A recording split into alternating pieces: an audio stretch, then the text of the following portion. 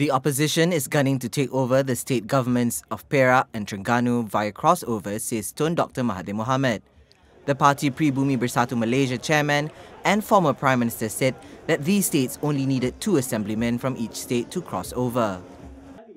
He was referring to Jorak Assemblyman Datuk Dr. Shahruddin Salleh's crossover from UMNO to Pribumi that resulted in Johor Barisan losing its two-thirds majority in the state government. Datuk, do you expect more crossovers in Johor? Uh, to be frank with you, I don't think so.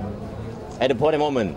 Eh? So there is no rumors of uh, maybe you may hear here and there that people might cross over. I mean, um, uh, all my fellow friends.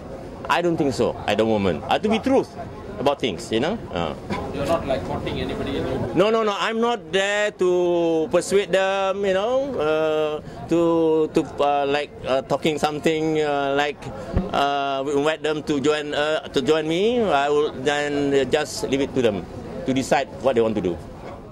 Following Dr. Shahruddin's appointment as Pribumi's Secretary General, Johor UMNO Secretary Datuk Muhammad Jais Sarday announced that his membership had been revoked. Muhammad Jais also dismissed the opposition's claims that Barisan had lost two-thirds majority in the State Assembly following Dr. Shahruddin's announcement.